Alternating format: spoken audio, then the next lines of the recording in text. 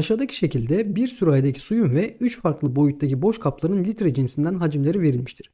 Buna göre bu sürahideki suyun tamamı 1, 2 ve 3 numaralı kaplardan hangilerini belli sayıda tam olarak doldurabilir diyor. Bakın burada tam, oldura, e, tam olarak doldurabilme lafı bizim için önemli.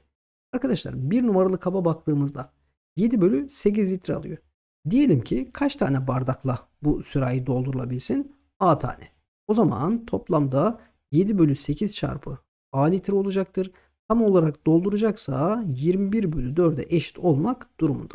Eğer buradan A'yı tam sayı bulabiliyorsak o zaman ne yapacağız arkadaşlar? Birinci öncülü alacağız. 7 ile 21'i sadeleştirdim. 3. 8 ile 4'ün sadeleşmesinden 2 geldi. İçler dışlar çarpımını yaparsam A'yı 6. Yani tam sayı olarak buldum arkadaşlar. Demek ki birinci bardak bizim işimizi görecektir. 2'ye bakalım. Benzer şekilde bakın bundan da B tane e, olsun. E, dolayısıyla ne olacaktır? 12 bölü 7 ile B'yi çarpacağım ve 21 bölü 4'e eşit e, eşitleyeceğim arkadaşlar. Sadeleştirdim bakın 3'e böldüm 4, 3'e böldüm 7. E, içler dışlar çarpımı yaparsam B eşittir 49 bölü 16 geldi. Tam sayı gelmediğinden dolayı bakın bunu alamayacağız. Üçüncü öncüle bakalım. Bundan da diyelim ki arkadaşlar C tane ihtiyaç olsun. 7 bölü 12 çarpı C litre olacaktır. C tanesiyle ben bunun tamamını doldurabiliyorsam eşittir 21 bölü 4 diyeceğim. Sadeleştirmelerimizi yapalım. 21 ile 7'ye böldüm 3. 12 ile 4'ü sadeleştirdim arkadaşlar 3. C'yi de buradan 9 yani tam sayı olarak bulabildim. Dolayısıyla doğru cevabımız D şıkkı. E siz şöyle de yapabilirdiniz bunu. Nasıl? Eğer tam olarak dolduracaksa 21 bölü 4'ü ben 7 bölü 8'e e, böldüğümde arkadaşlar tam sayı çıkması gerekiyor.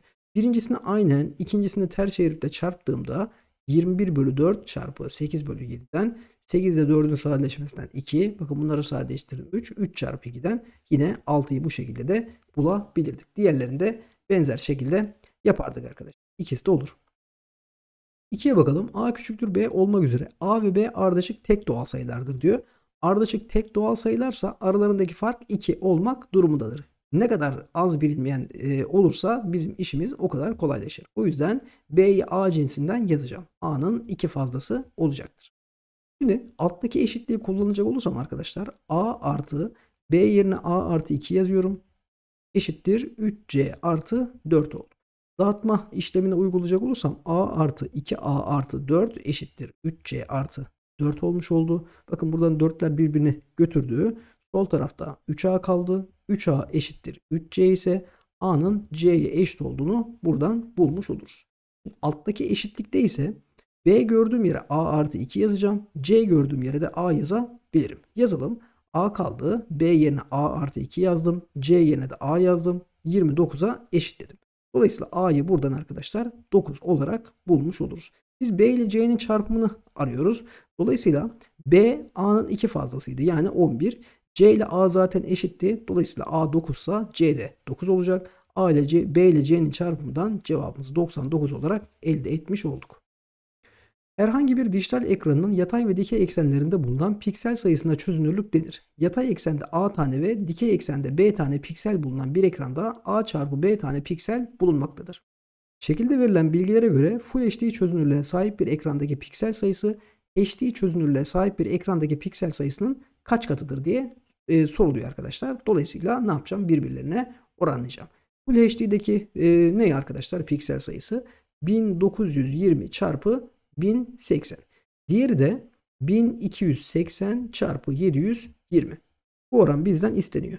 Üstten 2 tane 0, alttan da 2 tane 0'ı sadeleştirdim.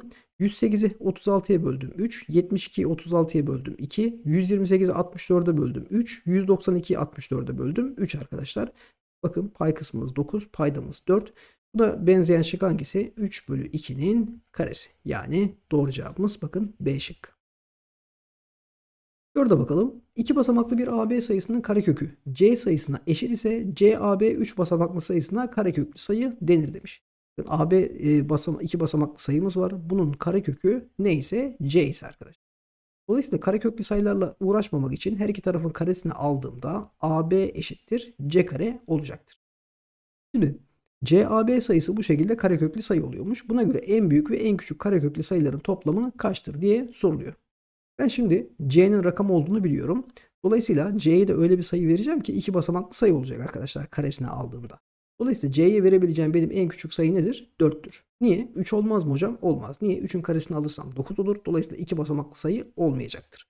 4 alırım, 5 alırım, 6, 7, 8, 9. En son 9 da bitecektir. C rakam olduğu için. En küçük değeri bulmak için C'ye 4 veririm. Bakın şöyle C, A, B sayısını yazacak olursam C'ye en küçük 4 veririm. AB sayısı da ne olur? 16 olur. Dolayısıyla CAB sayımız 416 olur. Ben C'ye 9 verirsem en az AB sayısı da 9'un karesinden 81 olur.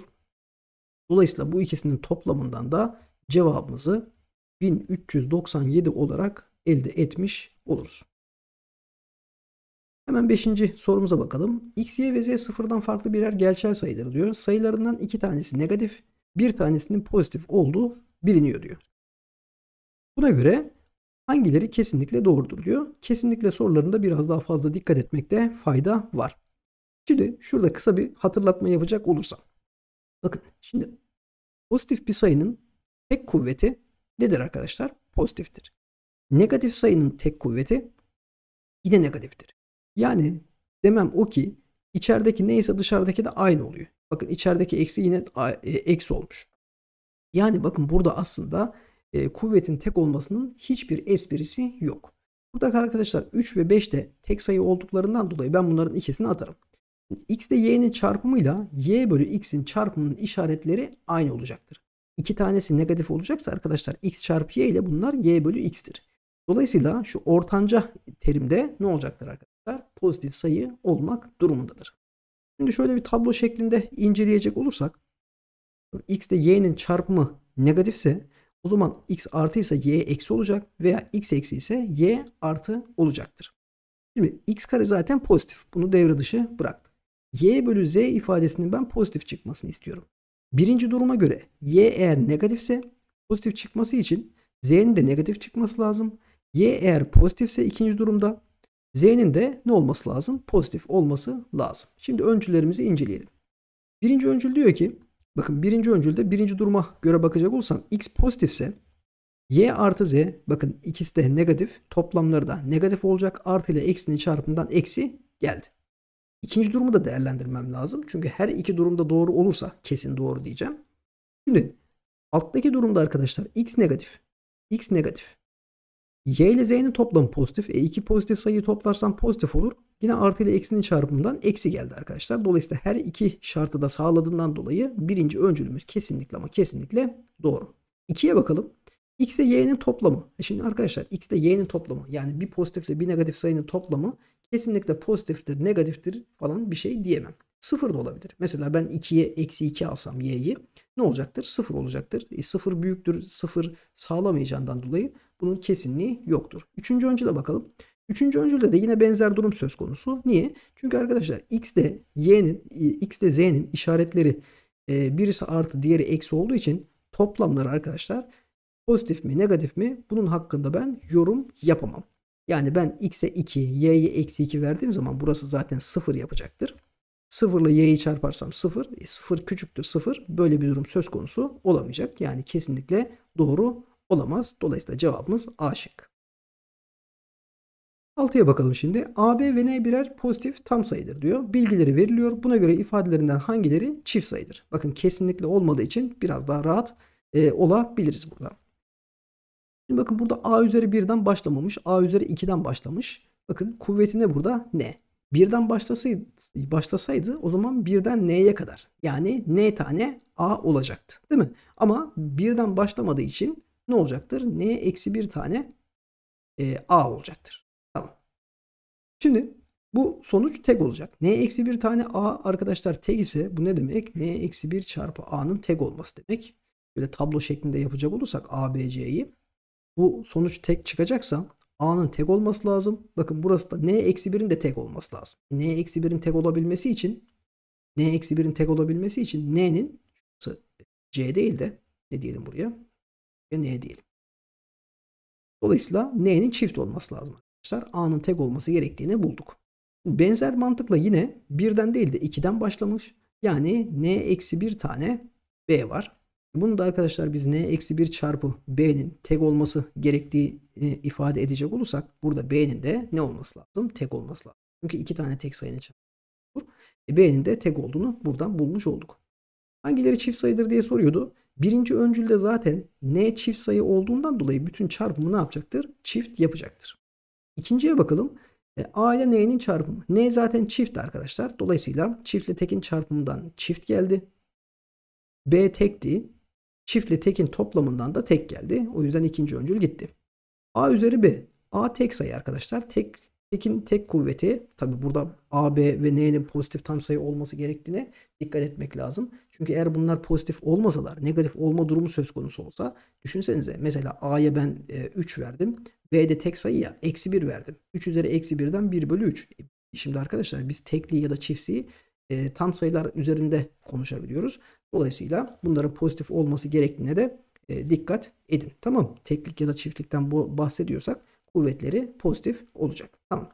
Tek üzeri tekten bakın ne geldi? Tek geldi. E B zaten tek. E, tekin çift kuvveti yine tektir arkadaşlar. Tek sayıyla tek sayıyı toplarsam çift yapar. Dolayısıyla cevabımız 1 ve 3 olacaktır. 7'ye bakalım. X, Y ve Z gerçel sayıları için eşitsizliği veriliyor. Buna göre ifadelerinden hangileri her zaman doğrudur diyor. Öncelikle şuradaki ifadeyi biraz toparlayalım. Y'ler ortak olduğundan dolayı Y ortak parantezine aldığımda X artı Z gelecektir. Büyüktür 0, büyüktür X bölü Y, büyüktür X artı Z. Ortak olan ifadeler dikkatimizi çekmiştir. X artı Z'ler her ikisinde de ortak. X artı Z arkadaşlar bakın burada sıfırdan küçük olduğundan ötürü ben x artı z'nin kesinlikle negatif olduğunu söyleyebilirim. Şimdi bu çarpım da y çarpı x artı z ifadesi. Burası. Sıfırdan büyükse ben eksiyle neyi çarparsam pozitif olur? Tabii ki eksiyi. Dolayısıyla ben y'nin e, sıfırdan küçük olması gerektiğini anladım. Şimdi bakın x bölü y oranı da sıfırdan küçükmüş. y negatifse x de pozitif olsun ki x de pozitif olsun ki bu oran sıfırdan küçük çıkabilsin. Şimdi arkadaşlar Z'ye bakalım. Z hakkında bir şey konuşmadık. Bakın X ile Z'nin toplamı negatif. Ben X'in pozitif olması gerektiğini biliyorum. Demek ki burada Z, Z arkadaşlar negatif olmalı ki hocam niye pozitif olsa olmaz mı? X pozitif. E, Z de pozitif olursa o zaman iki pozitif sayının toplamı pozitif olur. E, halbuki buranın negatif çıkması lazım. Dolayısıyla Z negatiftir. Şimdi öncüllerimize bakalım. Birinci öncül der ki X büyüktür Y. X pozitif sayı y negatif sayı tabii ki pozitif sayı negatif sayıdan büyük olacaktır. 2'ye bakalım. x büyüktür z. x pozitif sayı z negatif sayı arkadaşlar. Dolayısıyla pozitif sayı negatif sayıdan büyüktür. y büyüktür z üçüncü öncülde. Şimdi y de negatif z de negatif. E şimdi arkadaşlar ikisi arasında herhangi bir e, kıyaslamayı kesin olarak yapamam. Dolayısıyla cevabımız ne olacaktır? 1 ve 2 olacaktır.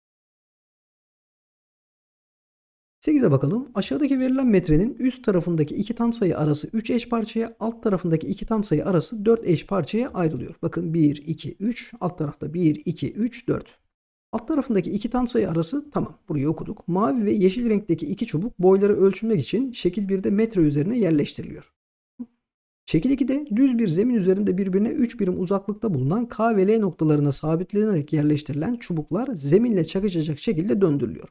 Buna göre çubukların uç noktaları arasındaki uzaklık en fazla kaç birimdir? Bu çubuklar arasındaki uzaklığın fazla olabilmesi için bakın ben bunu böyle deviririm değil mi? Buraya yazarım. Yeşili de yeşil de ne yaparım arkadaşlar? Bu şekilde deviririm ve her ikisinin uç noktaları arasındaki mesafe bakın şu sarıyla çizdiğim kadar olacaktır. Biz zaten arasındaki mesafenin 3 birim olduğunu biliyorum. Mavinin boyunu hesaplayalım. Bakın mavi burada. Şimdi 2 ile 3 arası zaten 1 birim olduğu bize verilmiş. Bu 1 birim aşağısı 4 parçaya ayrıldığından dolayı arkadaşlar mavinin uzunluğu 4 e, parçadan 3'ü yani 4'te 3. Yukarısı da 3 eşit parçaya bölünmüştü. Bakın yeşil 2 parça. Dolayısıyla yeşilin uzunluğu da 2 e, bölü 3 olacaktır. Bakın burası 3 bölü 4. Diğeri de 2 bölü 3. Hepsini toplayacak olursam ben yani 3 artı 2 bölü 3 artı 3 bölü 4. Faydalarını 12'de eşitleyelim. Burası 12. 4 ile 3 ile eşitledik. 36 artı 8 artı 9 bölü e, ne oldu arkadaşlar? Ben paydamızda 12'de eşitlemiştik. 36 8 daha 44 9 daha 53. Dolayısıyla cevabımız da 53 bölü 12 olarak elde etmiş olduk. 9'a bakıyoruz. X, Y ve Z gerçel sayıları aşağıdaki sayı doğrusunda gösterilmiştir diyor. Olduğuna göre aşağıdakilerden hangisi her zaman doğrudur? Şimdi birinci öncülde y'nin mutlak değerini sağ tarafa alacak olursam x'in mutlak değeri büyüktür y'nin mutlak değeri. Sayı doğrusunda baktığımda x'in ben y'den küçük olduğunu biliyorum. Dolayısıyla her ikisinin de pozitif olma şansı yoktur. Eğer pozitif olma şansı olmuş olsa arkadaşlar x'in e, x küçüktür. x'in mutlak değeri küçüktür. y'nin mutlak değeri olmaz. Demek ki x buradan negatif. y de arkadaşlar kesinlikle ama kesinlikle pozitif. Tamam. Şimdi alttaki e, eşitsizliğe bakacak olursam x artı z'nin mutlak değeri küçüktür y'nin mutlak değeri. Şimdi z hakkında biraz yorum yapalım. z arkadaşlar sıfır olmuş olsa sıfır olmuş olsa e, o zaman bakın burası ne olurdu? x'in mutlak değeri küçüktür y'nin mutlak değeri olurdu. O zaman yukarıdaki yazdığımız eşitsizlik de çelişirdi. Değil mi? Demek ki z'nin sıfır olma şansı yok. Şimdi peki z pozitif olur mu? z pozitif olur mu arkadaşlar? Ya da z negatif olur mu? Önce ona bakalım. Şimdi x'in negatif olduğunu ben söyledim. Bak x'in negatif olduğunu söyledim. z de negatif olursa bakın bu ifadenin içerideki ifadenin mutlak değeri ne olacaktır? Büyüyecektir. Dolayısıyla bu eşitsizlik sağlanmaz arkadaşlar. Yani z değeri de kesinlikle ama kesinlikle pozitif. E hocam örnek verir misin? Verelim. Mesela x sayısı eksi 3 olsun. y de 1 olsun. Eksi 3'ün mutlak değeri 3 yapar. 1'in mutlak değeri 1 yapar. Birinci eşitsizlik sağlanır mı? Sağlanır. Şimdi ben ikinci eşitsizlikte bakın ikinci eşitsizlikte y'ye ne demiştim? 1 demiştim değil mi? Tamam. E, o zaman arkadaşlar x'e de eksi 3 demiştim. Eksi 3 demiştim. Bakın burası z olsun. Küçüktür ne olacaktır? Birin mutlak değeri zaten 1 olacaktır. Şimdi bu eşitsizliğin sağlanabilmesi için, bu eşitsizliğin sağlanabilmesi için z'ye ben şimdi düşünsenize negatif bir sayı verdim.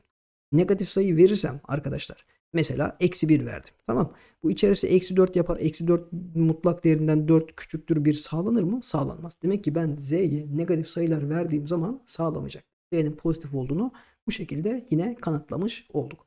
Şimdi öncülere bakalım. x ile z'nin çarpımı nedir diyor? Sıfırdan büyüktür diyor.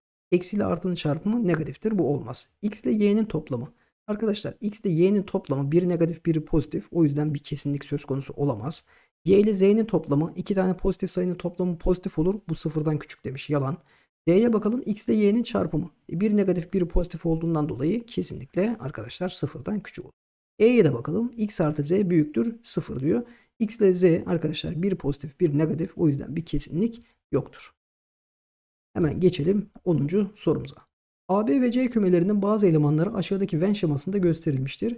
C'nin eleman sayısı 5. A birleşim B birleşim C kümesinin elemanlarının tamamı rakamlardan oluşmaktadır. Yani 0'dan 9'a kadar hepsini kullanacağız. Buna göre yukarıdaki öncüllerde verilen 6 basamaklı sayılardan hangilerinde C kümesinin elemanlarının tamamı kullanılmıştır? C kümesinin elemanlarının tamamı kullanılmıştır. Şimdi C kümesine bakıyorum. 2 var, 0 var, 1 var. Değil mi? 3 elemanlı. Ama C kümesinin 5 elemanlı olmasını istiyor. Şimdi kullanılmayan rakamlara bakıyorum. 0, 1, 2, 3, 4, 5, 6, 7 kullanılmış. Kullanılmayan rakamlar 8 ve 9. 8 şurada olsun. 9 da burada olmuş olsun. Ben C kümesinin elemanlarının tamamını kullanacaksam arkadaşlar. Birinci öncüle bakıyorum. Kullanılmış mı? 0, 1, 2, 8, 9. C kümesindeki elemanlar 0, 1, 2, 8, 9 değil mi? Tamamı kullanılmış. O yüzden birinci öncül olabilir. 2'ye bakalım. Bak 0, 1, 2 var ama 9 yok. 9 yok. O yüzden bu olmaz. 0, 1, 2 var. 8, 9 var. Bu da var. Dolayısıyla cevabımız ne olacaktır? 1 ve 3 olacaktır.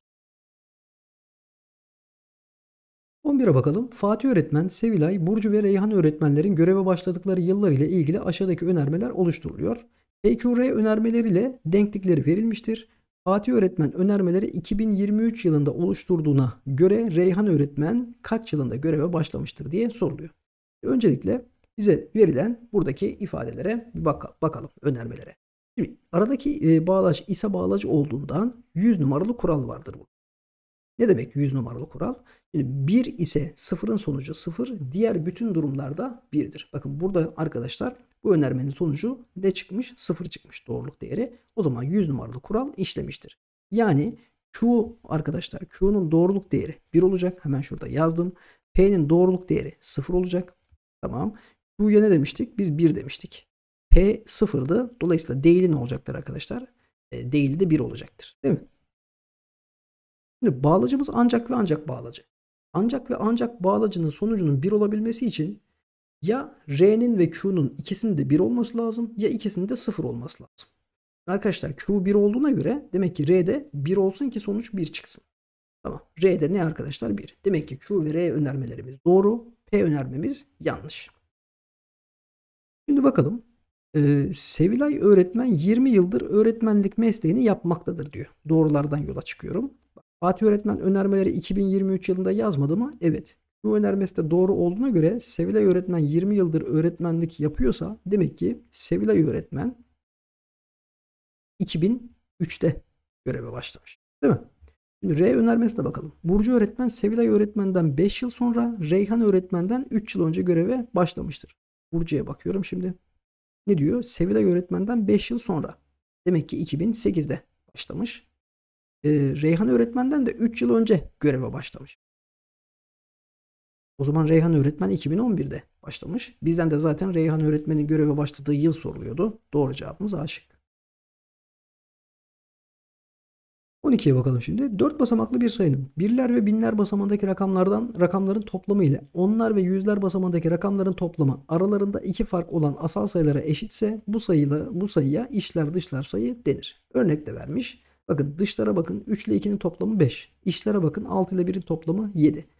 Hem 5 hem 7 asal olacak ve 5 ve 7'nin arasındaki fark 2 olursa o zaman bu sayılar içler dışlar sayıymış. Örneğimizi anladık. Bakın bu iki 4 basamaklı sayı içler dışlar sayı olduğuna göre bu ifadenin değeri kaçtır diye soruluyor. Şimdi arkadaşlar öncelikle şu sayılara bakalım. Bakın bu sayı ya a artı 2 eksi e, b artı 8'in sonucu 2'dir. Veya veya tam tersi de olabilir. Yani şöyle e, b artı 8 eksi a artı 2'nin sonucu da arkadaşlar 2 olabilir. Öncelikle buna bakalım şimdi. Dağıtma işlemini uyguladığımda ne gelecektir buradan? A eksi B eksi 6 gelecektir. Onu karşı tarafa atarsam 8 gelir arkadaşlar. Peki bu farkın 8 olabilmesi için A ve B'nin rakam olması gerektiğini unutmuyorum. Ya 8'e 0 gelecek ya da 9'a 1 gelir. Ben A'ya 8, B'ye 0 verdim de A artı 2 ve B artı 8'in de asal olmasını e, istiyorum. Buna dikkat edelim. Şimdi ben A'ya 8 dersem. arkadaşlar burada 2 çift sayı ya. A'ya da ben çift sayı verirsem zaten 8 artı 2'den 10 olur. Asal olma şansı olmaz. Şimdi ben A'ya 9 verirsem 9 artı 2'den 11 gelir. Bakın burası asal olur. B'ye 1 verirsem 1 artı 8 9 olur. Fakat burası asal olmadı. O yüzden bu durum söz konusu değil. Demek ki sağdan gelecek. Dağıtma işlemlerini uyguluyorum. B eksi A artı 6 gelecek. Onu da eşitliğin sağ tarafına atarsam eksi 4 geldi. Hatta eksiyle çarptığımda A eksi B'yi 4 olarak elde etmiş olurum. Bu aradaki farkın 4 olabilmesi için 4'e 0 olması lazım. 5'e 1, 6'ya 2, 7'ye 3, 8'e 4, 9'a 5 olur. 10'a 6 olmaz. Rakam olmaz. Şimdi ben A'ya 4 verdiğimde bak A'ya ben 2 eklemişim ya çift sayı eklemişim. O yüzden arkadaşlar ben şimdi A'ya çift sayı verirsem çift sayı ile çift sayının toplamı çift olur. E o zaman asal olmaz. Çünkü bizim tek asal sayımız 2. Çift olan asal sayımız 2. O yüzden 4, 6, 8'i eledim. 5'e 1 olur mu? Ben A'ya 5 e, versem 5 artı 2'den 7 olur. Bak şurası. B'ye 1 verirsem 1 artı 8'den 9 olur. Bak burası asal olmadı. Bu da gitti. Şimdi 7 desem A'ya 7 artı 2'den 9 olur.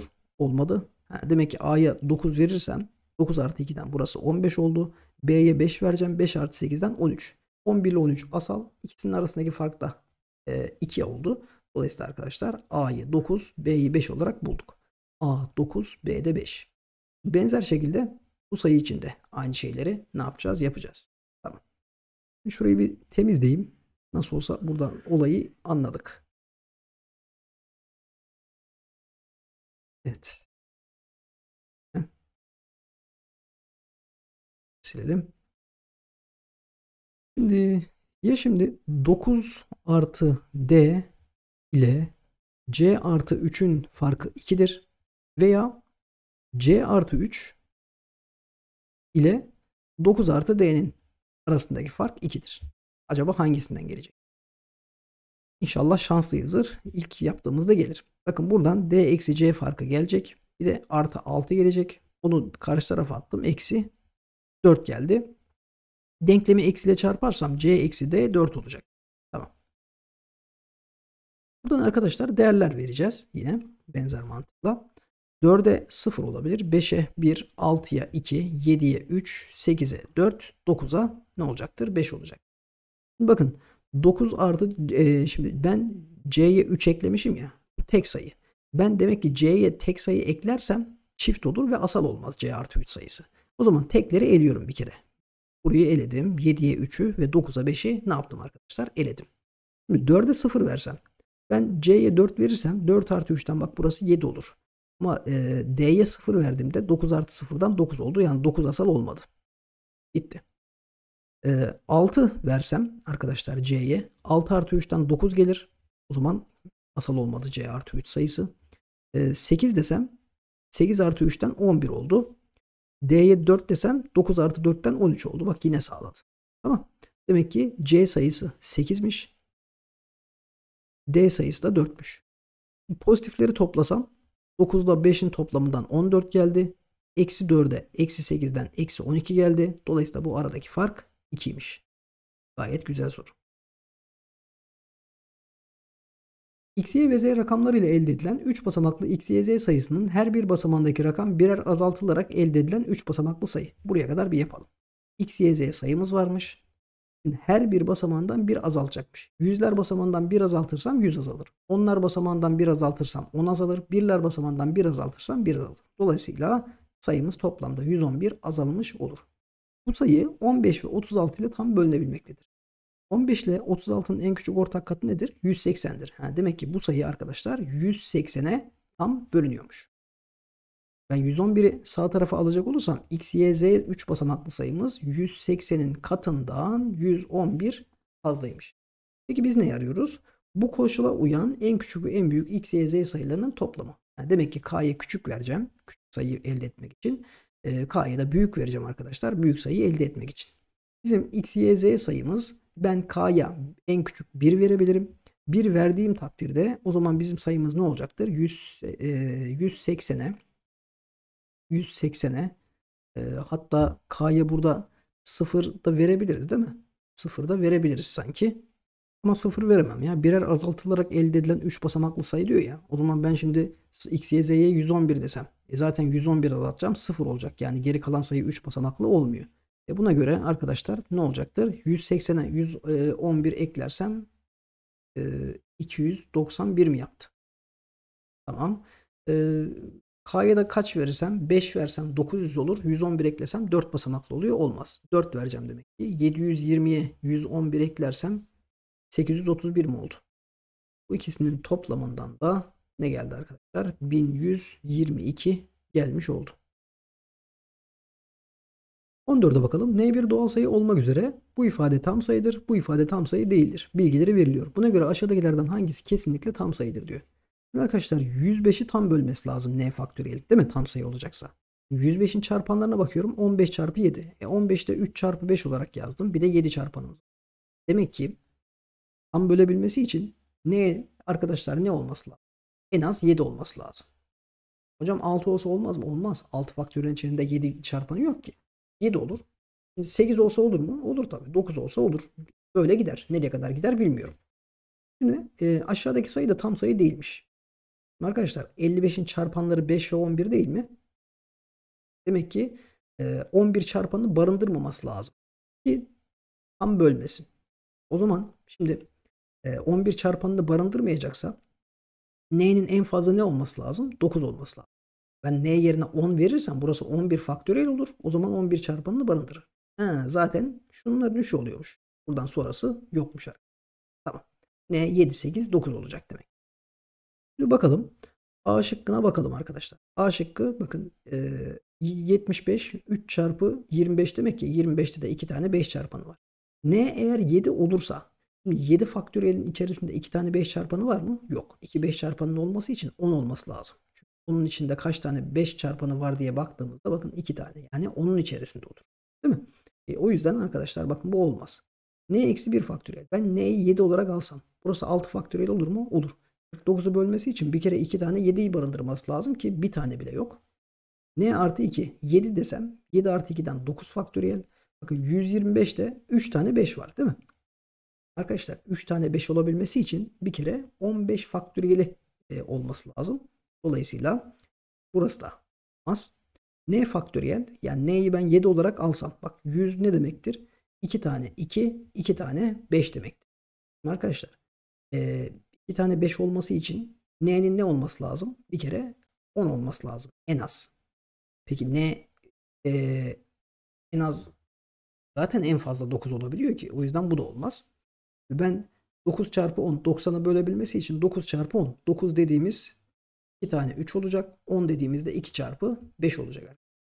Ben şimdi n'ye 7 bile al, almış olsam 7 eksi 1'den 6 faktöriyel. 6 faktöriyelin içerisinde 2 tane 3 var mı? Var. Zaten bir 3 var bir altının kendisi var.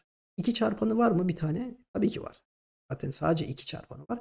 5 e, çarpanı da var bir tane. O yüzden bu kesinlikle nedir? Tam sayıdır. 15'e bakıyoruz. Gerçel sayılar kümesi üzerinde tanımlı bir f fonksiyonu için olduğuna göre fm değeri kaçtır diyor.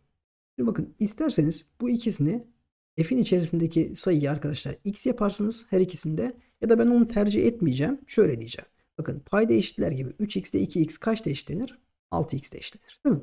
Dolayısıyla ben içerisine 6x yapmak için x yerine ne yazmam lazım? 2x yazmam lazım. Tabi her x gördüğüm yere. Sağ tarafta da yazacağım. Dolayısıyla f 6x eşittir 10x eksi m oldu.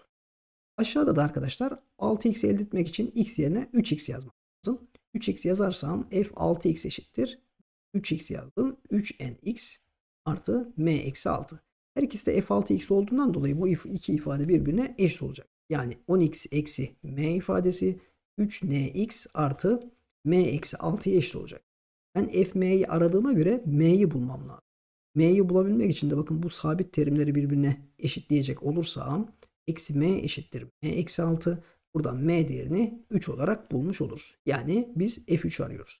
E, f3'ü bulmak için de arkadaşlar sanki yukarıdaki fonksiyonu kullanmak daha kolay olacak. Yani bizim f3x neye eşittir? 5x eksi m'yi 3 olarak bulduk. f3'ü bulmak için de x yerine 1 yazmam lazım. x yerine 1 yazarsam da sağ tarafta ne oldu arkadaşlar? 2 olmuş oldu. 16'ya bakalım. Bir kırtasiyede bulunan sınav kalemi, resim kalemi ve kırmızı kalemin fiyatları kendi işlerinde eşittir. Hakan'ın bu kırtasiyeden aldığı ürünlere ait fatura yukarı yukarıda verilmiştir. Nagihan da bu kırtasiyeden belli sayılarda sınav kalemi, resim kalemi ve kırmızı kalem alıp 3 tür kalem için ödediği ücretlerin birbirine eşit olduğunu görmüştür. birim fiyatlarını bulalım arkadaşlar. 12 tanesi 40 liraysa bir tanesi 40 bölü 12'dir. 4 e, ile sadeleştirirsem 10 bölü 3 TL'dir bir tanesi. 27'yi 6'ya bölersem ne olacaktır? 3 ile sadeleştirirsem 9 bölü 2 TL olacaktır bir tanesi. 90'da 15'e bölersem bir tanesi 6 TL olacaktır. Nagihan bu kırtasiyeden belli sayılarda sınav kalemi. Belli sayılarda ama ne kadar bilmiyorum. Diyelim ki sınav kaleminden A tane alsın. O zaman ödeyeceği ücret 10 bölü 3 çarpı A TL olacaktır. Resim kaleminden B tane alsın. Ödeyeceği ücret 9 bölü 2 çarpı B. Benzer şekilde kırmızı kalemden C tane alsın. Dolayısıyla ödeyeceği ücret 6C olacaktır. Bunların da hepsi birbirine eşitmiş arkadaşlar. Ödediği ücretler. Ben kesirler sayılarla uğraşmamak için 3 ve 2'nin en küçük ortak katı 6 olduğundan dolayı denklemi komple 6 ile çarpıyorum. 20A eşittir 27B eşittir 36C e, olmuş oldu. Buna göre Nagihan'ın en az kaç tane kaleme almış olabilir diyor ya. O zaman 20'yi, 27'yi ve 36'yı en küçük ortak katta eşitleyeyim arkadaşlar. Tamam. Burada yapalım. 20, 27 ve 36. Şimdi 9'a bölersem burası 4, 3, burası 20. 4'e böldüm 1, 5, 3, 15'e bölünür. 15 ile 4'ü çarparsam 60, 60 ile 9'u çarparsam 540. E, hocam 540'ın katları da olmaz mı? Tabii ki olur ama ben en azı istediğim için arkadaşlar e, sayıyı da en küçük tutmakta fayda var. Ben ne arıyorum peki? kaç tane kalem almış olabilir dedik ya. Almış olduğu kalemlere zaten biz ABC dedik. ABC'yi bulursam toplamı da bulmuş olurum. Şimdi 20A 540 olacaksa A 27 olacak. 27B 540'a eşit olursa burası 20 olur. 36 ile neyi çarparsam 540 var? Tabii ki 15'i. Dolayısıyla bu üçünün toplamından da cevabımızı 62 olarak elde etmiş oluruz. 17'ye bakalım. Ahmet bir hafta boyunca günlük eşit sayıda soru çözmeyi planlıyor. Bir hafta boyunca Ahmet'in günlük çözdüğü soru sayısı ile planladığı soru sayısı arasındaki fark günlere göre aşağıdaki grafikte verilmiştir. Ahmet bir haftada çözmeyi planladığı toplam soru sayısını tamamladığına göre tamam. A eksi B farkı kaçtır diyor. Demek ki demek ki e, şimdi bu sayıyı tamamladığına göre o zaman arkadaşlar yukarıda yukarıdaki sayıların toplamıyla aşağıdaki sayıların toplamı birbirine eşit çıkmış ki yani dengelenmiş ki bu sayıyı tamamlamış. Planladığı soru sayısını tamamlamış. O zaman yukarıdakileri toplayalım. Yukarıdakileri toplarsam bak pazartesi 25, salı 15, perşembe aşağıda olduğu için onu atlıyorum. Perşembe B, cumartesi de 20. Değil mi? Bunun toplamı nedir? 40, 60, 60 artı B'dir. Aşağıdakileri toplayalım. 10, 30 ve A. Yani 40 artı A. Bu ikisinin eşit olması gerektiğini söyledik. Yani A artı 40 eşittir 60 artı B olacak. Biz zaten A eksi B'yi arıyorduk. B'yi sola 40'ı sağ tarafa A eksi B'nin de 20 olduğunu rahat bir şekilde bulmuş oluruz. 18'e bakalım. Aşağıda şekilde, aşağıdaki şekilde bir içecek görseli verilmiştir. Bu 600 mililitrelik içeceğin tamamı 10 tane bardağa eşit şekilde paylaştırılacakken yanlışlıkla ilk 9 bardağı olması gerekenden daha az ve eşit miktarda lime özü doldurulup son bardağa kalan lime özü dolduruluyor.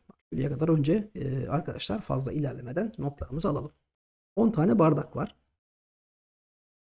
Ve 9. şurası da 10. olsun. 1, 2, 9 ve 10. Şimdi ne yapacaktı? Olması gerekenden daha az ve eşit miktarda olacak. Eşit miktarda ama ne kadar bilmiyorum. Bunda x'te bunda x mililitre bunda da x mililitre olsun. Dolayısıyla bunların 9'unda 9x mililitre olacaktır. Toplamda zaten 600 mililitreydi. O zaman 10. ne kalacaktır? 600 eksi 9x mililitre kalacaktır. Mililitre. Devam ediyorum şimdi. 10 bardağa da içerisinde 200 mililitre karışım olana kadar su ekleniyor. 10. bardakta oluşturulan karışımın lime özü yüzdesi. Lime özü yüzdesi. Karışımın yüzdesini biz nasıl buluruz arkadaşlar? Biz istenen e, karışımı ne yapıyorduk? Pay kısmına yazıyoruz. Tüm karışımda e, paydaya yazıyorduk. Şimdi o zaman buradan devam ediyorum. 10. bardakta oluşan karışımın lime özü yüzdesi. Şimdi e, ne olacak? 600 eksi 9x değil mi zaten karışımımız? Tamam. Paydamız ne olacak? 200 olacak. Niye? Çünkü tüm karışım 200 mililitre olana kadar su ekleyeceğim ya. Ondan dolayı. Tamam. Bu şimdi yüzdesi. Değil mi? Hatta yüzdesi bile değil. Niye? Yüzde olabilmesi için paydanın bir kere 100 olması lazım. Ben şimdi 2 ile sadeleştirirsem 2 ile sadeleştirirsem 100 o zaman pay kısmını da 2 ile sadeleştirmem lazım. 2 ile sadeleştirirsem de 600 eksi 9x bölü 2 gelir. Değil mi? Evet. Tamam. Şu anda yüzde. Bu yüzde. Şimdi devam ediyorum. 9. bardakta oluşturulan karışımın lime e, özü yüzdesinden 20 fazladır. 9. bardağa bakıyorum. 9'da ne kadar vardı? X vardı. Zaten toplam karışım payda da X olması lazım. Niye? Çünkü hepsine 200 mililitre olana kadar su ekliyorduk. E bunu da yüzdesini bulmak için ne yapacağım arkadaşlar? Hem payı hem de paydayı 2'ye böleceğim. E dolayısıyla bu da x bölü 2 olacak. Ama bu yüzde. Tamam. Şimdi ne diyordu? 10. bardakta oluşturulan karışımın lime özü yüzdesi. Onu bulduk arkadaşlar. Neydi? 600 eksi 9x bölü 2.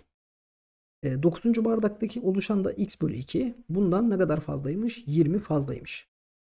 Ben şimdi kesirle uğraşmamak için denklemi komple 2 ile çarpıyorum. 2 ile çarparsam, ile çarparsam 600 eksi 9x eşittir x artı 40 geldi.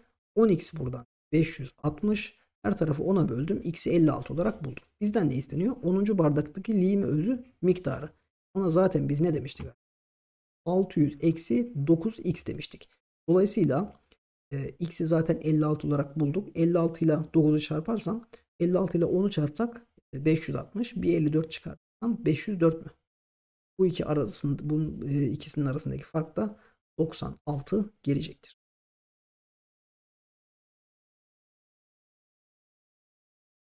Evet. Bir fabrikada işçiler haftada 2 gündüz 2 hafta e, bir işçiler 2 hafta gündüz 2 hafta gece vardiyasında çalışmakta ve haftada bir gün izin kullanmaktadır. Bir günde izinleri var. Tamam. O zaman arkadaşlar bunlar e, ne kadar çalışacaklar? 2 hafta e, normalde 14 gün ama bir gün izin olacak 13. 2 hafta gece olduğundan dolayı değil mi? İzinleri de var 13. Tamam. İşçilerin ek mesai çalışma süreleri gündüz 3 saat, gece 2 saattir diyor. Mehmet Bey 4 haftalık çalışma programında gece ve gündüz vardiyalarında ek mesai kalarak toplam 1200 TL ek ücret almıştır. Buradaki birimimiz bizim TL olduğu için TL'ye geçiş yapmamız lazım. Gündüz vardiyasında 1 saatte ne kadar alıyor? 24. E, gündüz vardiyası için saatli, e, 3 saat çalışıyordu. Dolayısıyla saati 24 ise 3 saat çalışırsa 72 TL alır. Ama tamam da gündüz kaç gün çalışıyor biliyor muyuz? Bilmiyoruz. Diyelim ki A gün çalışsın. E o zaman 72 çarpı A TL alır. E benzer şekilde arkadaşlar gece vardiyasının e, mesai ücreti 1 saate 30 TL. Gece 2 saat çalışıyor 60 TL alacak. Gece kaç gün çalışıyor? Diyelim ki B gün. O zaman ne olacaktır arkadaşlar? 60 çarpı B olacaktır. Bu ikisinin toplamı da 1200 olarak verilmiş. Hepsi 12'ye bölündüğünden dolayı 12 ile sadeleştiriyorum. 6A artı 5B eşittir. Ne yaptı? 100 oldu. Yani denklemimiz diafont denklem haline gelmiş oldu. Burada ne yapacağız? Bir tane sıralı ikili bulacağız. Bir tane sıralı iki. Bakın A'ya 0 dersem B 20 olur. Bundan sonrası kolay. Bir tane sıralı ikili yakaladık ya. A'nın e, A arkadaşlar B'nin katsayısı olan beşer beşer artıracağım. B'yi de A'nın katsayısı olan altışar altışar azaltacağım. Yapalım. Bakın 5 artırdım. 6 e, azaltırsam 14 olur. 5 artırdım. 10 6 azalttım 8. 5 artırdım 15 6 azalttım 2. Bir daha zaten 6 azaltırsam eksi 4 olur. B zaten burada gündüz çalışma süreleri olduğu için negatif olma şansı yok. Tamam. Şimdi buradan bakacağız arkadaşlar. Zaten en fazla ikisi de gece ve gündüz 13'er olur dedik ya. O yüzden bak şunları şunları sildim. Şunları sildim. Burada da 14 var. Demek ki olabilme ihtimali 10'a 8. İkisi de 13'ten küçük arkadaşlar. Kaç gün katılmıştır diye soruyordu. Gündüz 10 gün, gecede 8 gün, toplamda 18 gün olmuş oldu. Ayşe elindeki bardakların yarısını ikişerli olarak iç içe yerleştirirken diğer yarısını da üçerli olarak iç içe yerleştirilerek aşağıdaki eş bölmelere ayrılmış raflara diziyor. Yani demek ki burada ne kadar varsa bardak burada da o kadar var. Tamam. Ayşe ikişerli iç içe yerleştirdiği bardakların tamamını birinci rafa diziyor. Bardaklar birinci rafa dizildiğinde hiç boş bölme kalma, e, kalmazken üçerli iç içe dizildiğinde bardakları ikinci rafa dizdiğinde altı bölme boş kalıyor. Tamam. Şimdi diyelim ki birinci rafta x bölme olsun. Her birinde iki tane bardak yok mu? Evet. E o zaman ne olacaktır? 2x bardak olacaktır. Şimdi aşağıdaki ikinci rafta da 6 bölme boş kalıyormuş. Demek ki dolu olan kaç bölme? x eksi 6 bölme dolu. Her birinde de 3 tane olduğundan dolayı arkadaşlar 3 çarpı x eksi 6 tane de ne vardır? Bardak vardır.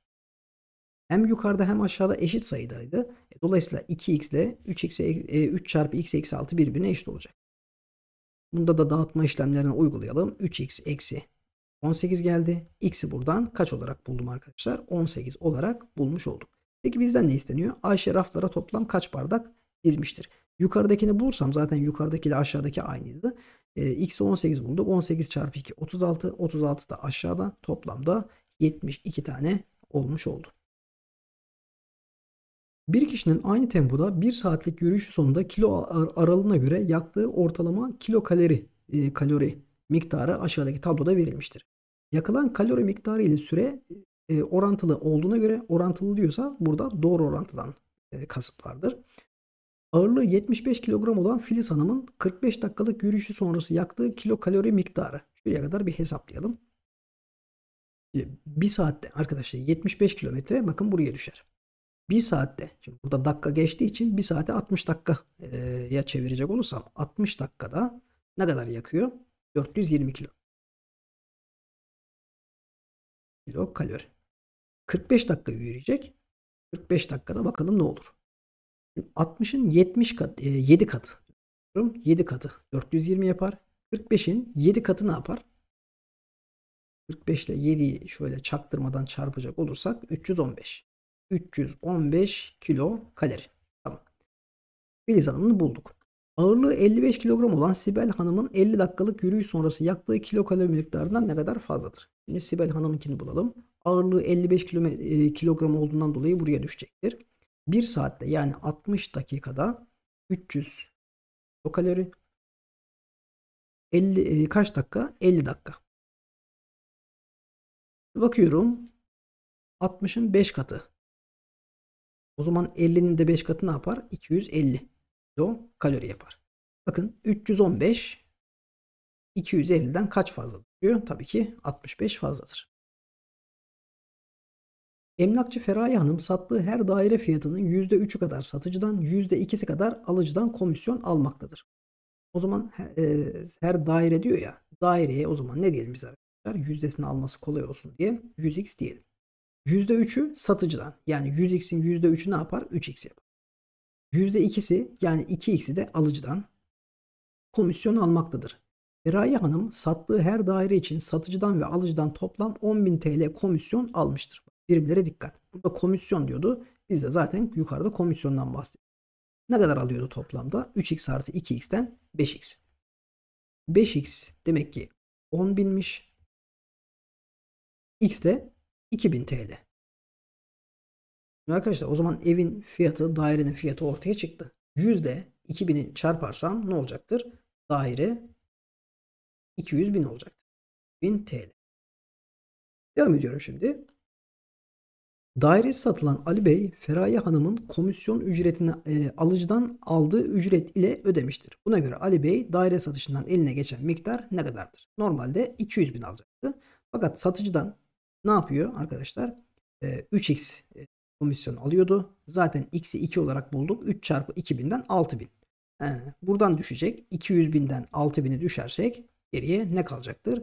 194 bin TL eline geçecektir. Doğru cevabımız D şık. Bir sonraki sorumuza geçelim. Bir kaplumbağanın kabuğunda her yıl bir tane ince ve bir tane kalın halka oluşmaktadır. Demek ki yılda iki tane ince ve kalın olmak üzere. Kaplumbağaların yaşı kabuğunda oluşan bir ince ve bir kalın halka sayısı bir yaş kabul edilerek hesaplanmaktadır. 2 yaşında olan Can'a babası biri 3 yaşında, diğeri 5 yaşında 2 tane kaplumbağa hediye ediyor. Buna göre kaç yıl sonra iki kaplumbağa üzerindeki toplam halka sayısı Can'ın yaşının 5 katı olur diye soruyor. Şimdi Can 2 yaşındaymış. Kaç yıl sonra dediği için arkadaşlar x yıl sonra olmuş olsun. Biri 3 yaşında diğeri de 5 yaşında iki tane kaplumbağa. 3 yaşında kaplumbağada e, kaç tane halka vardır? Bir, bir yılda arkadaşlar bir ince bir kalın iki tane olmuyor mu? 3 yılda ne olacaktır? 6 olacaktır. Değil mi? Diğeri de 5 yaşındaysa 10 tane halkası da olacaktır. Şimdi x yıl sonra dedik ya bir yılda 2 halka geliyordu. X yılda ne kadar gelir? 2x halka. Bunda da arkadaşlar benzer şekilde 2x halka olacaktır. Kaç yıl sonra iki kaplumbağa üzerindeki toplam halka sayısı ikisini toplayacağım. Canın yaşının yani şunun 5 katı olacakmış. Buradan dağıtma işlemini uygulayacak olursam 10 artı 5x eşittir. Sağ tarafı topladım. 16 artı 4x yaptı. X'i de buradan 6 olarak bulmuş olduk. Demek ki 6 yıl sonra. 24'e bakıyorum. Benzinin litre fiyatına 2 TL zam geldiğini öğrenen Ali Bey, bir önceki benzin fiyatına göre arabamın tamamen boş olan deposunu 84 TL daha ucuza doldurabilirdim demiş. O zaman buradan çıkaracağımız sonuç ne? Demek ki bu arabanın deposu 42 litreymiş ki 2 TL zam geldiğinde 84 TL daha ucuza doldurabilirmiş. Tamam. Başlangıçta aracın deposunda 12 litre benzin bulunan Ali Bey yeni oluşan zamlı fiyat ile deposunun kalan kısmını deposunda ne kadar kalan toplam 42 idi 12'si e, doluymuş zaten geriye 30 litre 600 TL'ye dolduruyormuş. O zaman bunun 1 litresi 20 TL'dir. Peki bizden ne isteniyor? Benzinin zamsız fiyatı. Şu anda 20 TL. 2 TL zam gelmişti. Zamsız fiyatı 18 TL'di. Pazarlamacı Eray Bey doğrusal bir yolda A kentinden B kentindeki müşterisinin adresine sabit hız ile harekete başlayıp yol güzergahı için şekil 1'deki navigasyon görselini açmıştır. Eray Bey hareketinden 1,5 saat sonra aynı yol üzerinde bulunan C kentindeki müşterisine uğramaya karar vermiş ve şekil 2'deki navigasyon görselini açtıktan 2 saat sonra C kentindeki müşterisine uğramıştır. Bu şekilde açıyor. 240 kilometre yol var. 2 saatte alıyor. Demek ki arkadaşlar bunun hızı 120 kilometreymiş. Tamam. Şimdi bir buçuk saatte de şu buraya gitmiyor muydu? Aradaki mesafeye gidiyordu. Bir buçuk saatte arkadaşlar zaten bak hızı bu. Sürede bir buçuk 3 bölü 2 olarak yazdım. Sadeleştirirsem 180 kilometre. Dolayısıyla A ile C arası 240 artı 180'den 420 kilometre. Zaten A ile B arası 720 kilometre olduğundan dolayı B ile C arasına 300 kilometre kaldı. Buna göre Eray Bey aynı sabit hız ile yani 120 kilometre ile e, C kentinden B kentine kaç saatte ulaşır? Yani yol eşittir hız çarpı zaman. Aralarındaki mesafe 300 kilometre, e, saatteki hızı 120, T saatte ulaşsın. Birer tane sıfır gitti. 6'ya bölersem 2, 6'ya bölersem 5. 5 bölü 2'den de T'yi 2,5 saat olarak bulmuş olduk.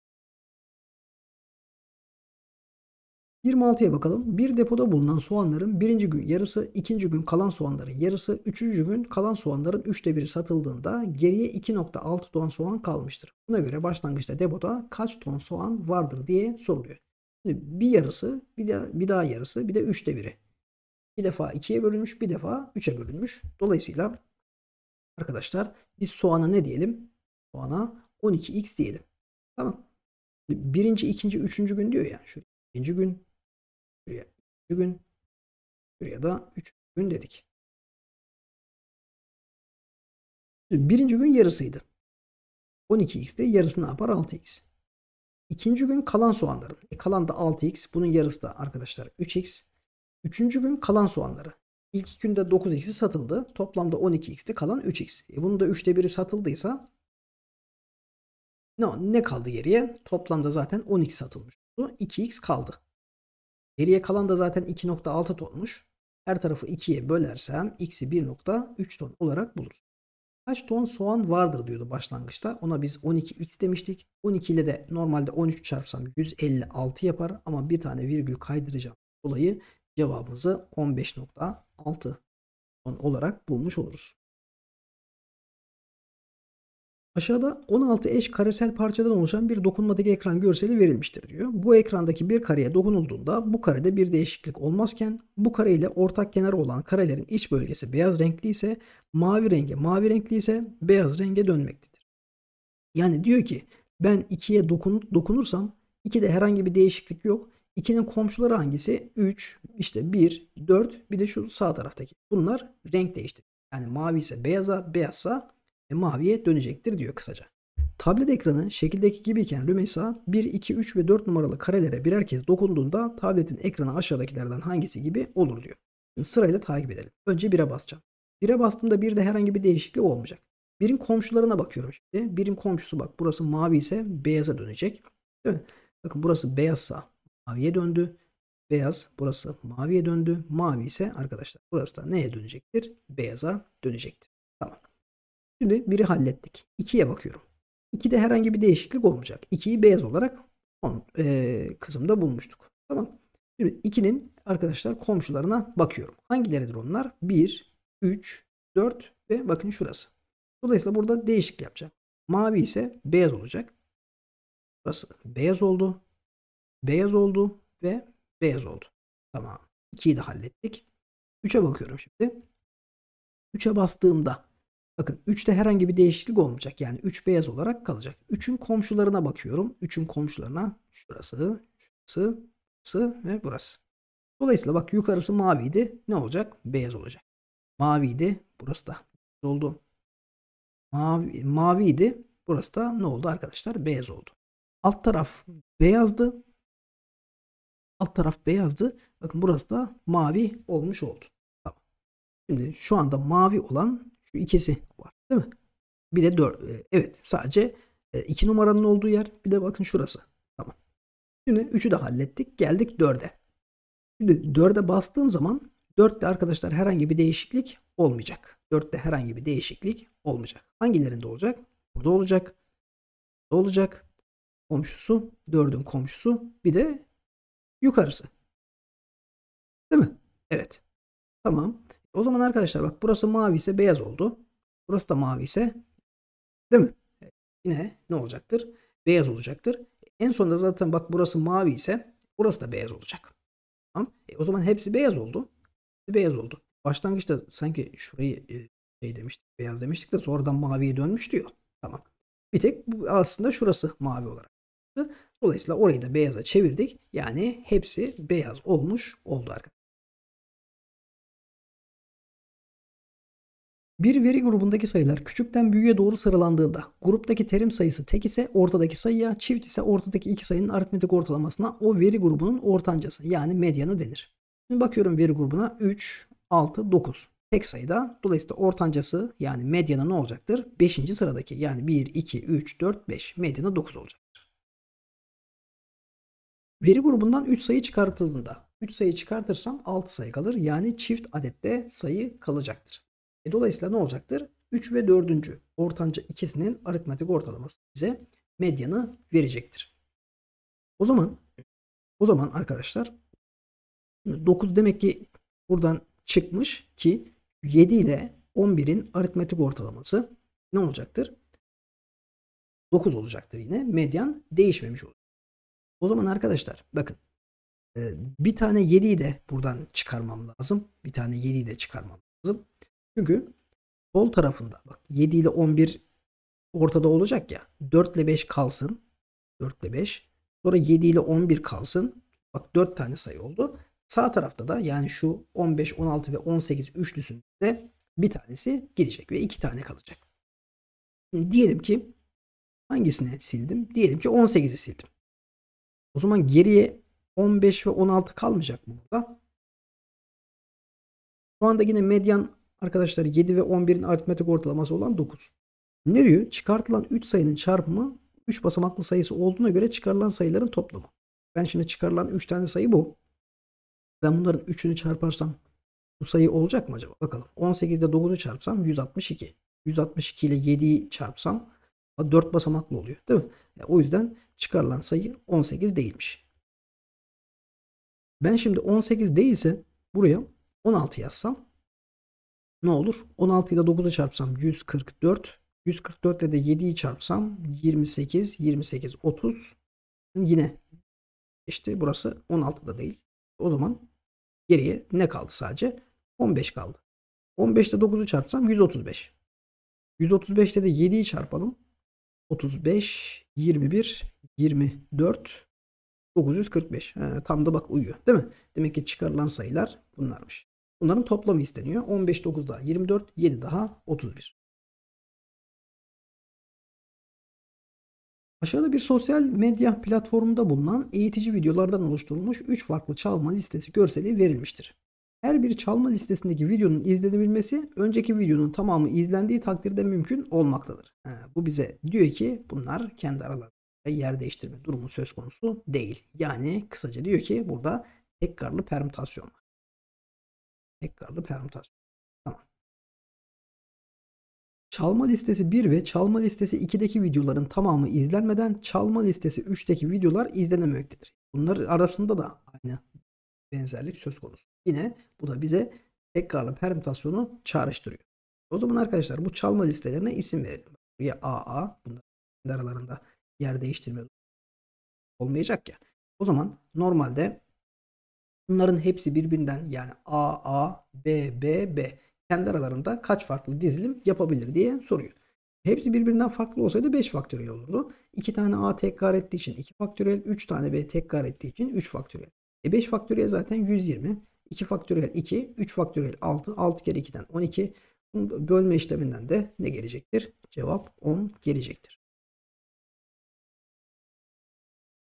Bakkal Ali Bey bir toptancıdan kilogramı 450 TL olan Antep fıstığından ve kilogramı 360 TL olan bademden belirli miktarda alarak toplam 8370 TL ödeme yaparak. Buraya kadar bir halledelim. Şimdi belirli miktar diyor ama ne kadar bilmiyorum. O yüzden Antep fıstığı için x kilogram. Badem için de arkadaşlar y kilogram. Tamam. O zaman ne kadar ödeyecek? Bak. Antep fıstığı için kilosu 360'tı. 360 çarpı x TL. Diğeri için de e, arkadaşlar yani pardon ters yazdık. Antep fıstığı 450 idi. 450 çarpı x olur o zaman. Diğeri de 360 çarpı y olur. İkisi için de 8370 TL ödenmiş. Hepsinden birer tane sıfır sadeleştiriyorum. 45 9'a bölünüyor. 36 da 9'a bölünüyor. Sağ taraftaki sayıya bakalım. Rakamlarını toplayalım. 9'un katı çıkıyor mu? 11, 18, 9'un katı. E o zaman şurada çaktırmadan bölelim. 837'yi 9'a böldüm. 9 defa 1, 27, 3. Değil mi? 9'a böldüm. Burası 5x. 9'a böldüm. 4y. 9'a böldüm. Sağ tarafta 93. Yine diyafont denklem karşımıza çıktı. Bir tane ne yapacağım? Sıralı ikili bulacağım. Bakın x'e 1 verirsem 88 olur. Y'yi de 22 kalır. Şimdi x'i y'nin katsayısı 4'er 4'er artıracağım. Y'yi de 5'er 5'er azaltacağım. Ki dengelensin yine dengede kalsın. Toplamları yine 93 olsun. 4 artırıyorum 5. 5 ee, azaltıyorum 17. 4 artırdım 9. 5 azalttım 12. 4 artırdım 13. 5 azalttım 7. 4 artırdım 17. 5 azalttım 2. Bir daha 5 azaltırsam zaten negatif olur arkadaşlar. Y burada kilogramdı. Negatif olma durumu söz konusu değil. Peki bizden ne isteniyor? Aldığı ürünlerin miktarları kilogram türünden tam sayı olduğuna göre bu karışımdaki Antep fıstığı yüzdesinin %50'den az olma olasılığı nedir? %50 ne arkadaşlar? Zaten yarım demek değil mi? Yani aslında diyor ki x'in y'den küçük olduğu e, durumları hesapla diyor. Şimdi toplamda zaten kaç tane çıktığımız var bizim? 5 tane. X'in y'den küçük olduğu durumlara bakacak olursam bak bu durum olur, bu durum olur ve bu durum olur. Değil mi? Toplam kaç tane? 3 tane. Da cevabımız da buradan B şıkkı gelmiş oldu. Evet şimdi geometri kısımlarına bakacağız. A ve E noktalarından C noktasına varmak için harekete başlayan iki araç B ve D noktalarında sırasıyla 40 derecelik ve 120 derecelik dönüşler yaparak C noktasına varıyor. A'dan çıktı. Bak normalde böyle dümdüz devam edecekti değil mi? C'ye varabilmek için 40 derecelik açı yapıyor. Yani arkadaşlar şöyle geldi. 40 derece burada. Şimdi E'den yola çıkan da Nereye gitmek için? C'ye gitmek için. Bak normalde dümdüz gitse bu şekilde gidecekti. Ama buradan nereye? Hop C'ye varmak için bu şekilde dönüş yaptı. Kaç dereceymiş? 120 derece. Tamam. AB yolu ve ED yolu paralel olduğuna göre. Bak bunlar da birbirine paralelmiş. Paralelse o zaman ne olacaktır arkadaşlar? Bak 120 ise şu arası 60. M kuralından M kuralından yani şu ikisinin toplamı nereyi? Şurayı veriyordu bize. 60 ile 40'ın toplamından ne gelecektir? Bakın şurası 100 gelecektir. Peki biz ne arıyoruz? C noktasından D noktasına varmak için kaç derecelik bir dönüş yapmalıdır diyor. C'den D'ye varmak için. Normalde arkadaşlar şöyle gitmiyor mu? Ama D'ye varması için şöyle bir dönüş yapması lazım. Yani bu aradaki açı isteniyor. Tamamı zaten 180 olduğundan dolayı bakın bu aradaki açıya da 80 derece kalacaktır. Birim kareli zeminde uzunlukları 4 birim olan çubuklar uç noktaları çakışacak şekilde aşağıdaki gibi yerleştirilmiştir diyor. Hemen yazalım. 4, 4, 4 ve 4. Buna göre aşağıdakilerden hangisi bu çubukların oluşturduğu açılardan biri değildir? Şimdi bakın ben şurayı böyle çizmiş olsam. Bu uzunluk 2 değil mi? Burası 90 derece. 90'ın karşısı 4 ise hangi açının karşısı 2'dir? 30'un. Burası 60. Tamamı 90 olacağından dolayı aradaki açıya da ne kaldı? 30 kaldı. Bu arkadaşlar şu karede tam köşegenden geçtiği için demek ki 45'e 45 şeklinde bölecek. Şıklara göre bakalım şimdi. 30 derece var mı? Var. 45 derece var. 60 derece var. 60 ile 45'in toplamından 105 var. Dolayısıyla cevabımız E şıkkı geldi. İkizkenar üçgen şeklindeki 3 karton tabanları doğrusal ve düzlemsel olacak şekilde ucuca aşağıdaki gibi yerleştirilmiştir. Mavi ve yeşil kartonun tepe noktaları arası yatay uzaklık 24 cm, oluşan şeklin genişliği 32 cm olduğuna göre kırmızı kartonun taban uzunluğu kaç santimetre diye soruluyor. İkizkenar üçgen olduğundan dolayı ikizkenar üçgende tabana dikmelerimizi indirelim. Tabana dikme indirdiğimizde ne olacaktır? Tabanı iki eşit parçaya bölecektir ikizkenar üçgende. Buraya A diyecek olsam A, B'ye B, C'ye C dedim. 24 santim 24 santim bakın şurası. A artı 2B artı C yazalım. A artı 2B artı C eşittir 24. Şimdi tamamı da yani 2A artı 2B artı 2C 32 ise A artı B artı C ne olacaktır? 16 olacak. Yukarıdan aşağı çıkardığım takdirde arkadaşlar A'lar ve C'ler birbirine götürecek. Haliyle B değerini buradan 8 olarak buluruz. Peki bizden ne isteniyordu? Kırmızı kardonun taban uzunluğu. Ona zaten 2B dedik. Dolayısıyla 2 çarpı 8'den cevabımızı 16 olarak elde etmiş oluruz. Satır aralıkları eşit olan bir sayfaya yüksekliği 3 ve 4 satır olan iki üçgen şekildeki gibi çizilmiştir. Bakın satır aralıkları eşitmiş. Bakın bunlar eşit. Bunlar da eşit. Yükseklikleri 3 ve 4 olarak verilmiş zaten. Bu üçgenlerde bazı satırlar aşağıdaki gibi boyanmış ve kırmızı bölgelerin alanlarının eşit olduğu görülmüştür. Kırmızı bölgelerin alanları eşitmiş. Bakın bu eşitlik bize nasıl alanlar arasında nasıl bir bağıntı verir arkadaşlar bakın. Eğer şöyle bir eşitlik söz konusuysa ben şuraya S dersem 3S, 5S, böyle 7S, 9S, 11S böyle tek sayıları şeklinde devam ediyordu. O zaman bakın ben buraya A, 3A, 5A diyebilirim. Buraya da benzer şekilde B, 3B, 5B ve 7B diyebilirim. E, kırmızılar birbirine eşitti. Dolayısıyla 3A eşittir 5B oldu. A'ya 5K diyecek olursam B de buradan ne olacaktır? 3K olacaktır. Bizden ne isteniyor? Mavi bölgelerin alanlar oranı hangisi olabilir diyor. Mavi arkadaşlar 5A. Dolayısıyla A'yı ben 5K olarak buldum. 5 çarpı 5'ten 25K geldi. B'yi de e, arkadaşlar 3K olarak buldum. 7 çarpı 3K'dan 21K oldu. Bunlar birbirini götürse cevabımızı 25 bölü 21 olarak elde ederiz. Peki niye olabilir demiş ki? Bunun tam tersi de olabilir. Tamam mı?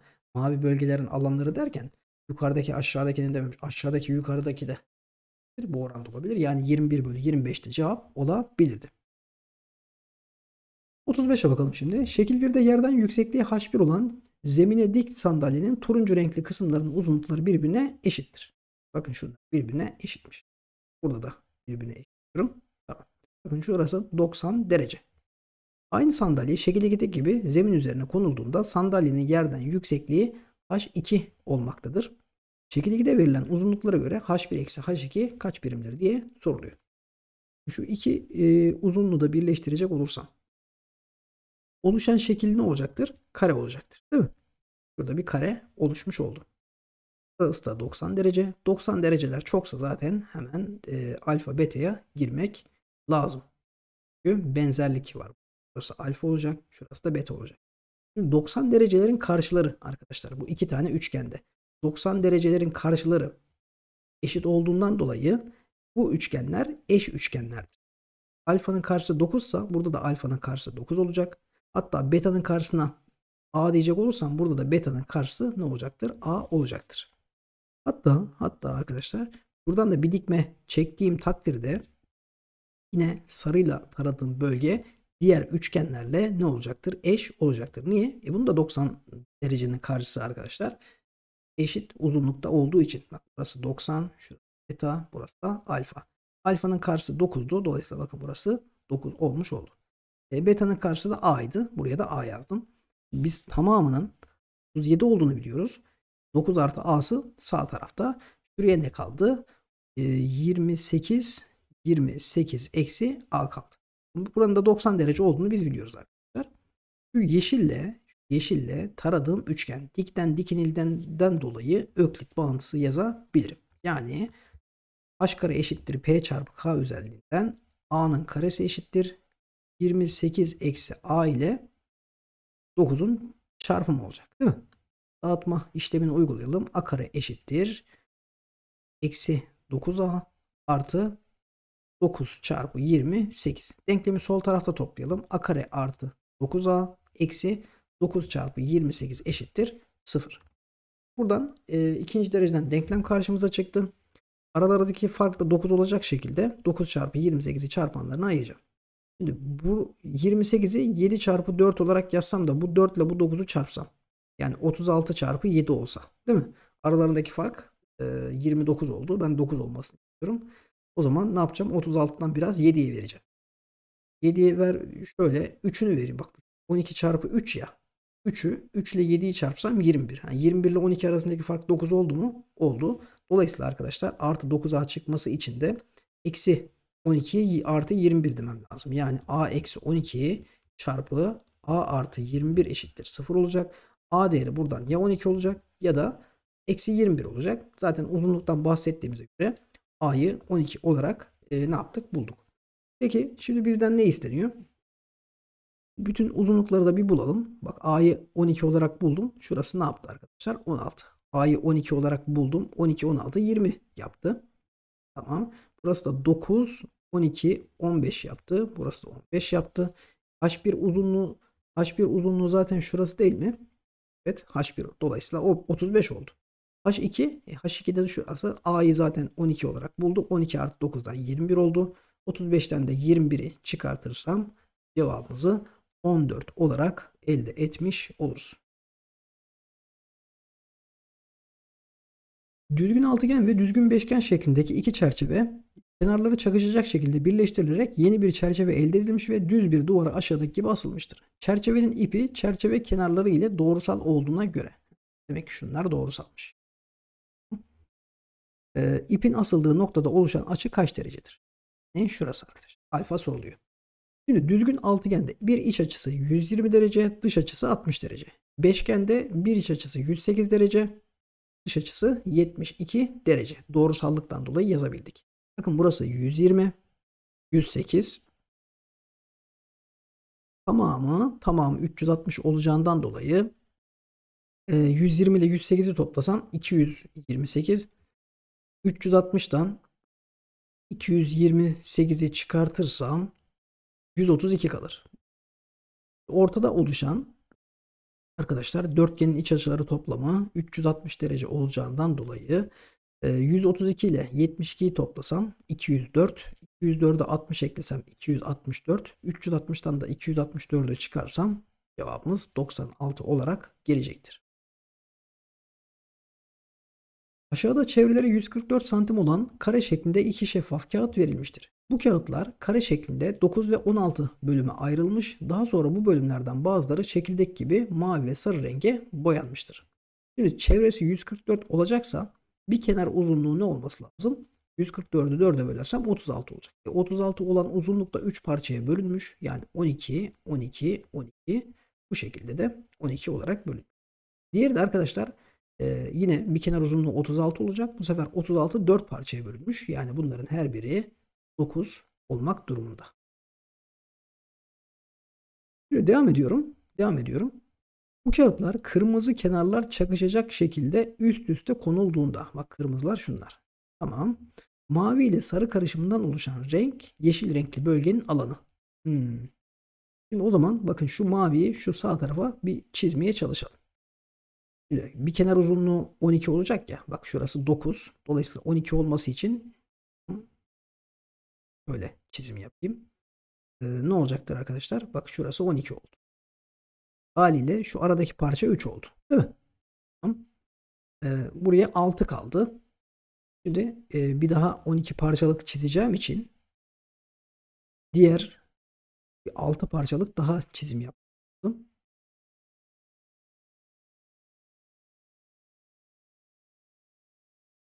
Burası 6 olacak.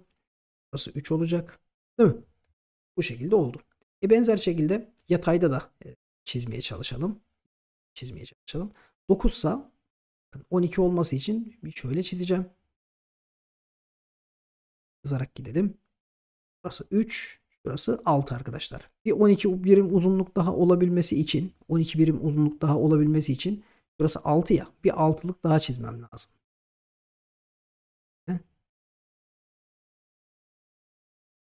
Bir altılık daha çizdik. Yeşilde. Buraya 3 kaldı. Burası da aşağısı da zaten 9 arkadaşlar. Tamam. Demek ki ne diyor? Yeşil renkli bölge. Yeşil renkli bölge her ikisiyle de e, çakışan değil mi arkadaşlar? Evet. O zaman bizim yeşil renkli bölgemiz tam olarak bakın nereye denk gelecek? Sarı ile yeşilin kesiştiği bölge. Yani mavi ile taramış olsam tam mavi şurası oluyor ya. Evet. E, o zaman arkadaşlar yeşille oluşan bölge burası ve burası. E zaten 6'ya 6 36. Şu kısımda yine 6 yukarısı da bakın 6 burası da 6 6 kere 6'dan burası da 36. İkisinin toplamından da cevabımızı 72 olarak elde etmiş oluruz. Bir eşkenar dörtgenin alanı köşegen uzunlukları çarpımının yarısı ile hesaplanır. Eşkenar dörtgen şeklinde iki eş çerçeve zemine aynı uzaklıkta bulunan iki askıya bir köşegenin e, zemini dik olacak şekilde aşağıdaki gibi asılmıştır. Yani bakın şu aradaki uzunluklar neymiş? Birbirine eşitmiş. Soruda bize vermiş bunu. Çevreleri 100 santim olan bu çerçevelerin uç noktalarının zemine olan uzaklıkları 84 santim ve 50 santimetre olarak ölçülmüştür. Buna göre bir çerçevenin oluşturduğu bölgenin alanı kaç santimetredir diye soruyor. Şimdi arkadaşlar şöyle yapalım. Tamamlayacak olursam her ikisini de tamamlayalım. Da tamamlayalım. Bir şekilde uzunlukların eşit olduğunu biliyoruz. Ve yataylarında köşegenler edelim. Biz eşkenar dörtgende biliyoruz ki köşegenler arkadaşlar dik kesişim değil mi? Köşegenler dik kesişim. Anlaştık. Şimdi çevresi 100 olduğundan dolayı eşkenar dörtgenin bütün kenar uzunlukları eşit. Dolayısıyla 100'ü 4'e bölersem ne olacaktır arkadaşlar? Bir kenar uzunluğu 25 olacaktır. Şimdi bakın şuradaki kısa kenara ben köşegenin bir kenarına A diyeyim. Bakın burası da A olsun. Hatta şurası B ise bakın burası da B olsun. Yani bakın burası B, B, sağ tarafta da A'ya A karşılık geldi. Şimdi arkadaşlar şuranın tamamı bak 2A ile 84'ün toplamı ile 2A artı 84 ee, benzer şekilde bak benzer mantıkla 2B ile 50'nin toplamına eşit değil mi? Uzunlukların eşit olduğunu söyledik. 2B artı 50. E buradan da 2A e, eksi 2B eşittir. Hatta şöyle yapalım. B daha büyük olduğu için A'yı sağ tarafa atalım. 2B eksi 2A 50'yi sol tarafa attım. 34 oldu. Her tarafı 2'ye bölersem B eksi A'yı 17 olarak buldum. Yani ben B gördüğüm yere A artı 17 yazabilirmiş. A artı 17 yazdım. Zaten bir kenar uzunluğunun ben 25 olduğunu biliyordum arkadaşlar. Şimdi kenar uzunlukları arasında 17 fark olan hangi üçgen var? 7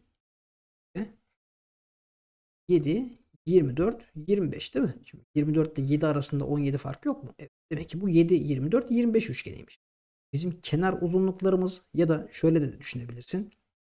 7'ye 17 ya. Bir tanesinin alanını bulsam 7 çarpı 24 bölü 2. Sadeleştirdim. 12. 12 ile de 7'yi çarparsam 84. Şu parça 84. Bu 84. 4 tane 84. 4 ile 84'ün çarpımından da cevabımızı 336 olarak elde etmiş olur. Yani, tabii şöyle de yapabiliriz arkadaşlar. Nasıl? İki tane köşegenin çarpımının yukarıda bize bilgi olarak verdi. İki köşegeni çarpıp yarısını alıp da yine aynı sonuca ulaşabilirdik. Kaldı son iki sorumuz. Yarıçapı R ve yüksekliği h olan bir dik dairesel silindirin hacmi pi r kare çarpı h ile hesaplanır. Bunu zaten bilmeyeni dövüyorlar değil mi? Dik silindir şeklindeki iki bidon düz bir zemin üzerinde şekildeki gibi yan yana konulmuştur. Tamamı su dolu olan büyük bidonun içindeki suyun 5'te biri dışarı dökülmeden küçük bidona doldurulmuş ve bu bidonun 3'te 2'sinin suyla dolu olduğu görülmüştür. Buna göre büyük bidonun hacminin küçük bidonun hacminin kaç katıdır diye soruyor. Şimdi arkadaşlar bakın e, bunun 3'te 2'sinin sağdaki küçüğün 3'te 2'si e, dolmamış mı? Evet dolmuş. Dolayısıyla ben, ben bunlara V V V V diyecek olursam buradaki boşluk olan hangisi arkadaşlar? Bakın e, V değil mi? Dolu olan kısım kaç V? 2V. Peki ben bu dolu olanı şuradaki boşluk kısımla doldurmadım mı? Evet. Demek ki buradaki boşluk arkadaşlar hacmi 2V'ymiş ki değil mi? Bu dol, e, sağ taraftaki 2V'lik kısmı doldurmuş. Bakın burası da 2V, 2V, 2V ve 2V. Yani toplamda 10V yaptı. E, küçüğün hacmi de 3V. Bu oranlar V'ler birbirini götürürse cevabımızı 10 bölü 3 olarak elde etmiş oluruz. Bir dikdörtgen prizmanın hacmi taban alanı ile yüksekliğin çarpımı ile hesaplanır. Dikdörtgen prizma şeklindeki mavi, kırmızı ve yeşil renkli 3 blok birer yüzleri çakışacak biçimde yerleştirilerek basamağı yüksekliği ile aynı olan 3 basamaklı bir merdiven elde edilmiş ve bu merdivenin üstten ve cepheden görünümü aşağıda verilmiştir. Bakın burada basamak yüksekliği ne olacakmış arkadaşlar? Aynı olacakmış. Bu blokların bazı ayrıtları 9, 5, 4 ve 1 metre olduğuna göre oluşturulan merdivenin hacmi kaç metreküp olur diye soruluyor. Şimdi bakın hemen sizi fazla bekletmeden önce şu merdiven görünümü bir çizelim. Tamam Zihnimizde canlandırması daha kolay olacaktır. Evet. Bu şekilde çizdiğimi varsayın. Tamam. Tam olmadı ama idare edin. Arkadaşlar bakın şurayı bilmiyorum ben. Ne diyelim? A diyelim. Dolayısıyla tamamı 9 olacağından dolayı buraya ne kalacaktır? 9 eksi A kaldı. Anlaştık. Burada zaten 5 ise 5'leri yazıyorum. Şurası 4'tü. Bakın burası da neydi arkadaşlar? 1'di. Tamam. Şimdi biz zaten şu uzunluğun A olduğunu biliyoruz. Değil mi? Dolayısıyla bak burası da A. Şurası da A olacak. Tamam yazalım. Bak burası A. Şu parçaya ne kalıyor o zaman? 9 eksi 2A kaldı. Burası da zaten A'ydı. E o zaman 9 eksi 2A ile A birbirine eşit. 9 eksi 2A ile A birbirine eşit. Buradan A zaten 3 olarak bulunur. Tamam A'yı 3 olarak ne yaptık arkadaşlar? Bulduk. Burası 5 ise buradaki uzunluk da 5 olur mu? Olur. Zaten merdivenin uzunluklarının 9 birim olduğunu biz biliyoruz. O zaman ben şimdi buradaki merdivenin e, hacmini bulurum. Değil mi? Taban alanı çarpı yüksekliği. E hocam orası tab taban değil ki tavan. Fark etmez. Tabanla tavan zaten aynı değil mi? Evet. Dolayısıyla bakın buranın hacmini bakın merdivenin hacmini bulacak olsa. Taban alanı 9 çarpı 5 değil mi? 5 çarpı 9. Yüksekliği ne? E o da 9. Artı diyorum. Şimdi kırmızıya baktım. Kırmızıya bakıyorum. Bakın burası 4. E zaten arkadaşlar şu uzunluk 9. Ama 4 çarpı 9 yüksekliği ne? E, yüksekliği de 9 eksi 3'ten 6 geldi. Yeşil için bakalım. Yeşil için bakalım. Bakın şu uzunluk 1. Buranın tamamının zaten 9 olduğunu biliyoruz. 1 çarpı 9. Yüksekliği ne? Yüksekliği de 3. Ayı 3 olarak bulduk. Bunu çarpalım. Ee, 9 kere 9 81. 81 ile de 5 çarparsam 405 mi oldu? 4 kere 9 36. 36 ile 6'yı çarptım. 216. 9'da da 3'ü çarptım. 27. Bunları toplarsam da e, 621 648 mi yaptı? Doğru cevabımız E şık. Evet arkadaşlar bir sonraki denemede görüşmek üzere. Hoşçakalın. En güzel üniversiteler sizlerin olsun.